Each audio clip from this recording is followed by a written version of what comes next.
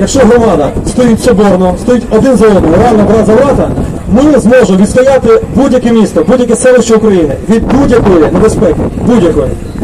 Тому ще раз я щиро дуже вдячний тим людям, які е, зробили дуже багато для того, щоб сьогоднішня акція була влаштована. Та?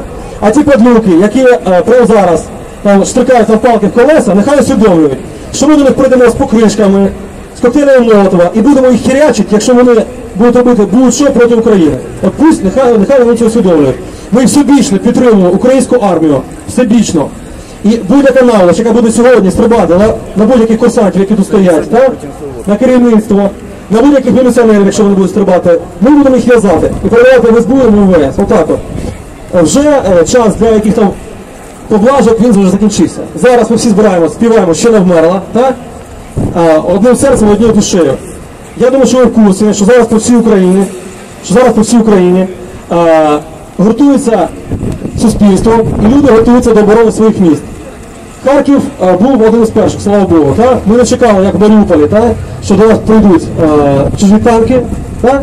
А, ми вже готуємо зараз, щоб ми розуміли, що як нам треба робити. Тому, будь ласка, зараз ще не вмерла Україна. Три, чотири. Ще